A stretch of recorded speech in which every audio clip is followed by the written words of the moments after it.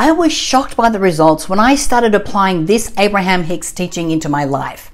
Discover what it is and how it can also transform your life for the better. Now, you may be wondering, well, how is it okay to be selfish? But here's the thing we cannot give others what we don't have. We can only love others when we are in love with ourselves. Now, if we want to be of service to the world, we cannot serve from an empty cup we can only give and serve from our overflow. The amount of love that you give to yourself is the level of appreciation that you can give to others. Now, Abraham says that the greatest gift that we can give is our happiness.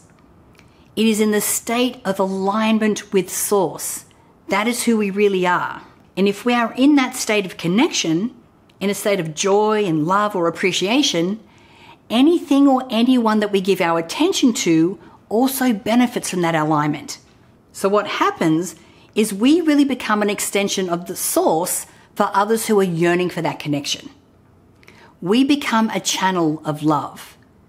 And when you find yourself in that alignment, you experience bliss and you become a beacon of awareness and radiate joy to others as well.